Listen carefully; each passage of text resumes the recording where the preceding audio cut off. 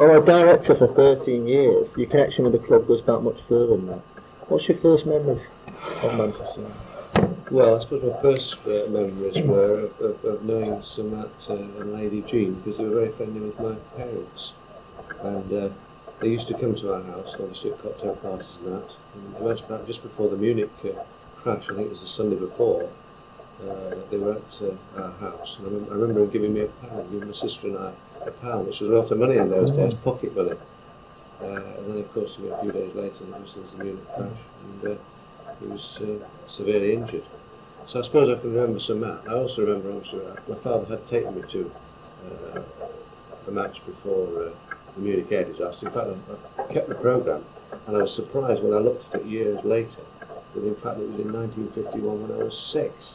And I really thought it was much later. You know, when you when you're a kid, you forget these things. It was only in the fact that I suddenly found the programme that I was able to uh, refresh my memory. Um, but I really started watching just after the crash because you know my father went on the board the day after Did you actually replace Mr. Didn't the director die on Director died in uh, in London. That's right. Saturday. On the Friday, thought, the Friday before the Arsenal Mr. game. Whittaker. Mr. Whittaker. The War yeah. Actually. That's right. So the Arsenal game, he died on the Friday night, and uh, my father was due to go on the board just before the Munich air disaster. Of course, in hindsight, he was fortunate he didn't didn't go, otherwise he'd have been on the plane. Uh, and he was made a director the day after the crash. So of course I was at boarding school then, so I remember coming over the first holidays I came home, and I got very interested then. So I suppose I've really been a, keen supporter since 1958. Um, obviously, over those years since then, um, has there been a special thing? Whatever reason. Well, I suppose I suppose the fact that I started watching just after the Munich crash, and of course, you know, the fact that I suppose the the, the crash occurred because of European football, and the fact that United was sort of first team to enter the European Cup and uh, came so close in '66 when they lost to Partizan Belgrade. I really felt that was their year. And I suppose the European Cup, I have to say the European Cup, it might appear the obvious one, but I suppose it was, was United's greatest hour, really. Were you in the when it's I wasn't in the royal box. I was certainly there. I wasn't the director at the Oh, time. no, I was certainly certainly there, and I can remember most of the game. I can remember sort of uh, thinking there was no problem until uh, Benfica started to put the pressure on towards the end, and of course they scored, and then of course Alex made the save. And I remember being very worried at the end of full time because the last ten minutes of ordinary time they'd been pressing rather than us, and I rather felt we'd had our chance. But then of course we really turned it on in, in extra time. I said to my son at the other actually, do you think in hindsight that uh, winning that European Cup was probably the winning for Manchester United?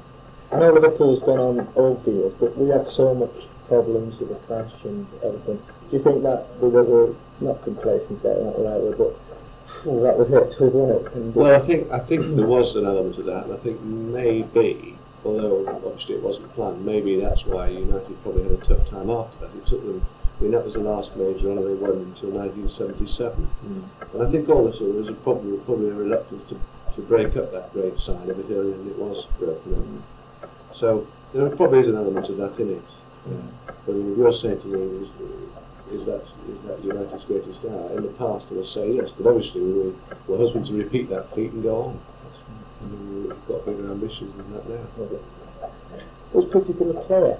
No, it's difficult and so on. But has there been a particular player for any reason?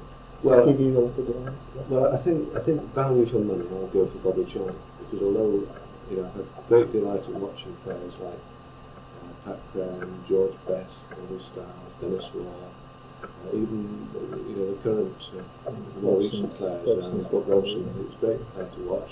Maybe in time, uh, you know, he'll be the value over the years.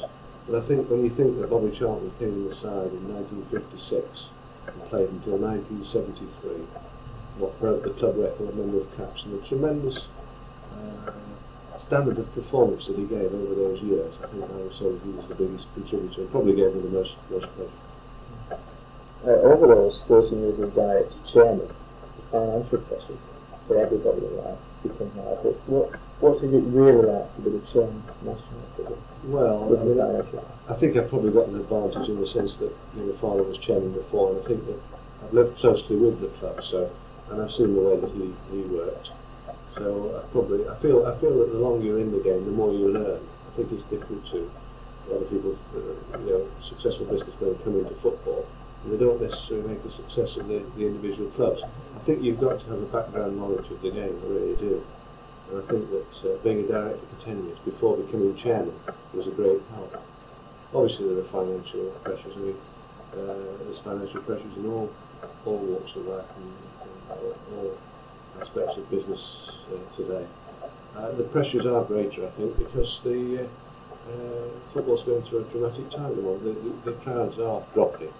In fact, if you look at the, uh, uh, crowds just after the war and to the present day, it's been a continual decline. So obviously, uh, the pressures are there.